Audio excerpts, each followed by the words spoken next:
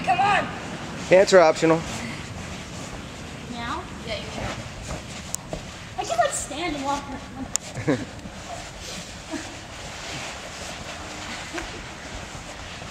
Uh, like I said, so Mike, don't be mad at us. This is where the carpet burns on our elbows and knees came from. Yeah, right. Try again. Absolutely, go again. Nope. Nope.